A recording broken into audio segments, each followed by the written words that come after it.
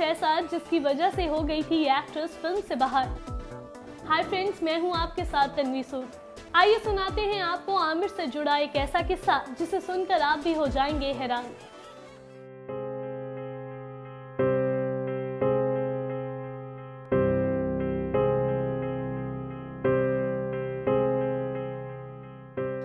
तिरानवे में आई फ़िल्म डर एक सुपरहिट साबित हुई थी। यश चोपड़ा के डायरेक्शन ने कमाल कर दिया था। इस फ़िल्म के डायलॉग्स गाने एकदम ज़बरदस्त थे।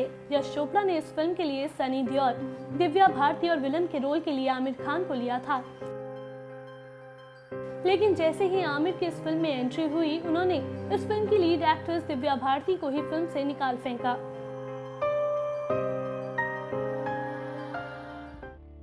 दरअसल आमिर चाहते थे कि इस फ़िल्म में जूही चावला काम करे।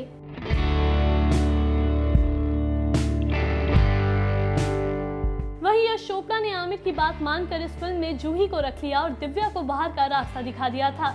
लेकिन जैसे ही फ़िल्म की शूटिंग शुरू होने लगी, आमिर ने स्क्रिप्ट पर टांग लड़ाना स्टार्ट कर दिया था।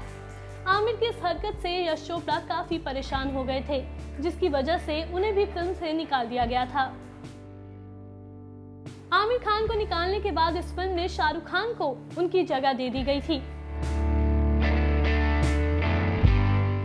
देखा कुछ इस वजह से आमिर खान की वजह से दिव्या भारती के हाथ से निकल गई थी ब्लॉकबस्टर फ़िल्म आपको हमारी स्पेशल रिपोर्ट कैसी लगी, हमें कमेंट करके ज़रूर बताएँ।